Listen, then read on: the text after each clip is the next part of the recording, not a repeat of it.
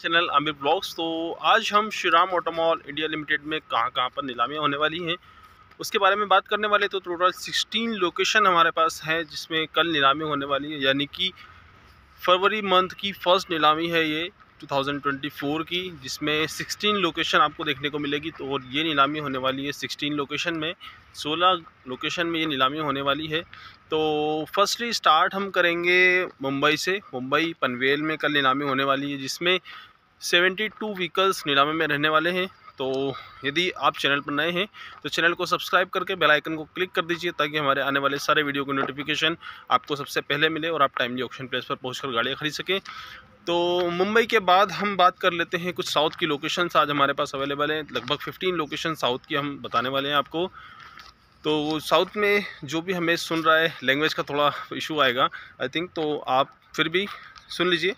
पतंजरू में नीलामी होगी 130 थर्टी व्हीकल्स वहाँ पर कल नीलामी में रहने वाले हैं 130 गाड़ियाँ नीलामी में रहने वाली हैं वारंगल में 52 गाड़ियों की कल नीलामी होने वाली है वहाँ पर भी आप जाकर गाड़ियाँ परचेस कर सकते हैं और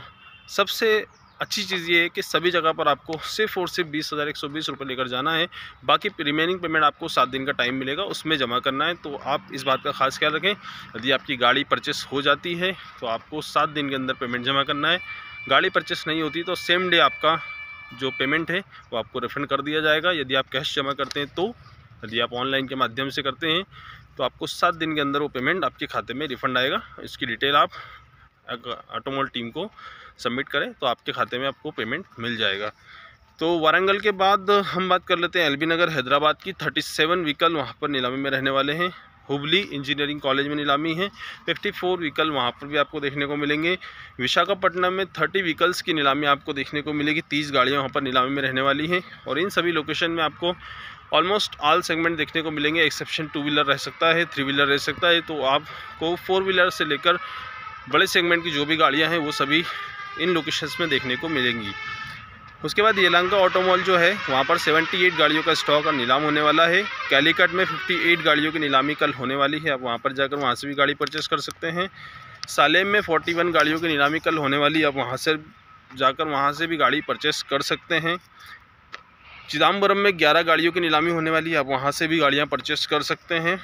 कम्बकोनाम में फोर्टी गाड़ियों की नीलामी होने वाली है वहाँ से भी गाड़ी परचेस कर सकते हैं कोचीन में 51 गाड़ियों की नीलामी होने वाली है आप वहाँ से भी गाड़ी परचेस कर सकते हैं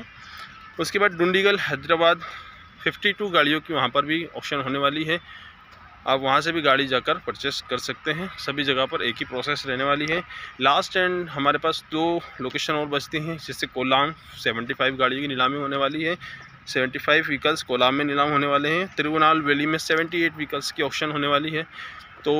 आप इन लोकेशंस पे जाकर गाड़ियाँ परचेस कर सकते हैं तो फर्स्टली अगर कुछ लैंग्वेज का प्रॉब्लम है तो हम आपको थोड़ा सा कन्वर्ट करके बता देते हैं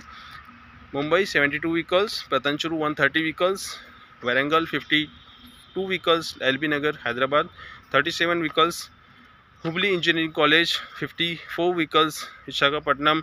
Uh, 30 vehicles, Sri Lanka 78 vehicles, Chengalpet 24 vehicles, Calicut 58 vehicles, Salem 41 vehicles, Chidambaram 11 vehicles, Kumbakonam 47 vehicles, Cochin 51 vehicles, Dunagal Hyderabad 52 vehicles, Kollam 75 vehicles, Tirunelveli uh, 78 vehicles. These all vehicles, these all auctions conduct in tomorrow in Shri Ram Auto Mall. Third Feb four please go to the yard and purchase the vehicle bye bye thank you good bye मिलते हैं next video के साथ